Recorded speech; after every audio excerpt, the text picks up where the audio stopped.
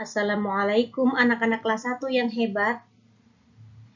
Mari kita mulai dengan baca basmalah bersama-sama. Bismillahirrahmanirrahim. Hari ini kita akan belajar pola bilangan. Mengidentifikasi pola bilangan yang berkaitan dengan kumpulan benda atau gambar.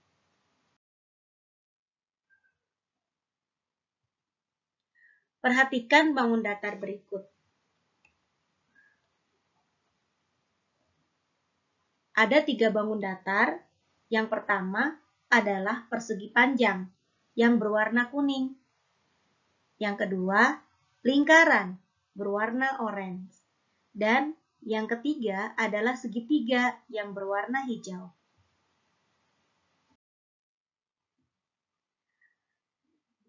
Lanjutkan menggambar pola bangun berikut. Ada di buku paket tema 2 atau 1B halaman 138.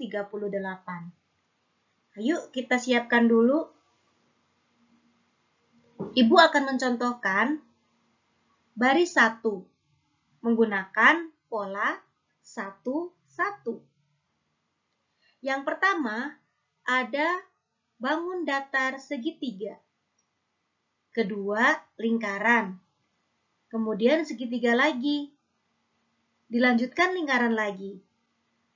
Pada kolom kelima, menurut kalian, yang akan muncul adalah segitiga atau lingkaran. Kita lihat ya. Ternyata segitiga. Kamu betul sekali. Kalau menggunakan pola satu-satu berarti segitiga lingkaran, segitiga lingkaran. Maka setelah segitiga akan muncul lingkaran. Dan berikutnya akan muncul segitiga lagi. Dan terakhir akan muncul lingkaran lagi. Nah, sudah mulai bisa ya? Pola satu satu. Kita lanjut. Masih pada buku paket tema 2 atau 1B halaman 138. Ibu akan mencontohkan pada baris keempat menggunakan pola 2 2. Pada pola dua-dua ini, perhatikan contohnya. Ada dua persegi panjang dan ada dua lingkaran. Maka, kolom selanjutnya adalah yang akan muncul persegi panjang atau lingkaran. Kita lihat ya. Wah, persegi panjang. Setelah itu, yang akan muncul persegi panjang atau lingkaran? Hmm, kalau kita ingat polanya dua dua, maka persegi panjangnya baru ada satu. Kita lihat. Yes, persegi panjang lagi. Berikutnya berarti lingkaran. Dan yang terakhir juga akan muncul lingkaran. Pola 2, 2. Dua persegi panjang, dua lingkaran. Dua persegi panjang, dua lingkaran. Sudah mulai mengerti? Bagus. Tepuk tangan buat kita semua. Nah, berikutnya masih pada buku paket tema 2 atau 1B halaman 138. Baris kelima menggunakan pola 1, 2, 1. Ibu akan contohkan baris kelima ya. Perhatikan baik-baik. Satu segitiga, dua lingkaran. Satu segitiga. Polanya 1, 2, 1. Maka kita mulai dari awal.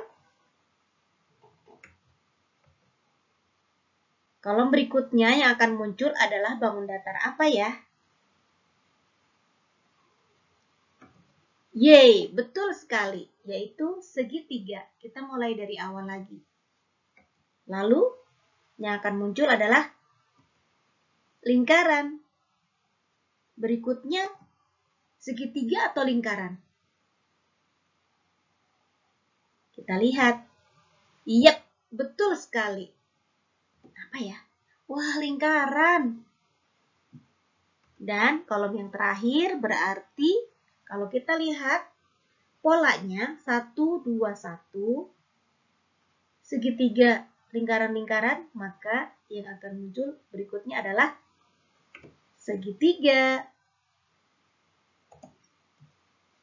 Tepuk tangan buat kita semua. Nah, ada tugas buat kalian. Lanjutkan menggambar pola bangun berikut pada buku paket tema 2 atau 1B halaman 138. Baris 2 dan 3 menggunakan pola 1, 1. Dan baris ke 6, 7, dan 8 menggunakan pola 1, 2, 1. Nanti kalian bisa buka lagi ya. Contoh pada video yang tadi kita pelajari. Kita lanjutkan. Lengkapilah pola berikut. Buku paket tema 2 atau 1B halaman 156. Yuk disiapkan dulu halaman 156. Setelah ini, kalian boleh mengerjakan tugas-tugasnya ya. Pada baris 1, 2, dan 3 menggunakan pola 1, 2, 3, dan seterusnya. Nah, Ibu akan contohkan pada baris 1. Perhatikan baik-baik. Ada satu anak panah pada kolom pertama. Kemudian yang kedua ada dua anak panah. Nah, sekarang, pada kolom ketiga, ada berapakah anak panah? Tadi perhatikan ya, polanya adalah 1, 2, 3, dan seterusnya. Maka setelah dua anak panah, kolom yang ketiga ada berapa anak panah? Iya, kita perhatikan dulu ya. 1, 2, 3. Bagus sekali, kalian sudah bisa. Satu anak panah, dua anak panah, tiga anak panah. Perhatikan yang di sini. Ada satu, dua, tiga, empat. Kolom berikutnya, satu, dua, tiga, empat, lima. Nah, di kolom selanjutnya, ada berapakah anak panahnya? Satu, dua, tiga, 4, 5, 6. Iya, bagus. Jadi polanya adalah 1, 2, 3, 4, 5, 6. Bisa? Insya Allah bisa. Tugas yang kedua, lengkapilah pola berikut. Masih buku paket tema 2 atau 1B halaman 156 baris 2 dan 3 menggunakan pola 1, 2, 3, dan seterusnya. Insya Allah kalian semuanya bisa. Nanti ketika mengerjakan, kalian boleh mengulang-ulang video yang sudah kita pelajari hari ini. Alhamdulillah, bagaimana belajar hari ini? Mudah kan? Sebelum ibu tutup, yuk kita tepuk kelas 1 dulu. Kelas 1 ceria, cerdas, mandiri, berakhlak, mulia. Aku pasti bisa, yes. Terima kasih. Ibu akhiri. Wassalamualaikum warahmatullahi wabarakatuh. Dadah. Selamat mengerjakan tugas hari ini ya.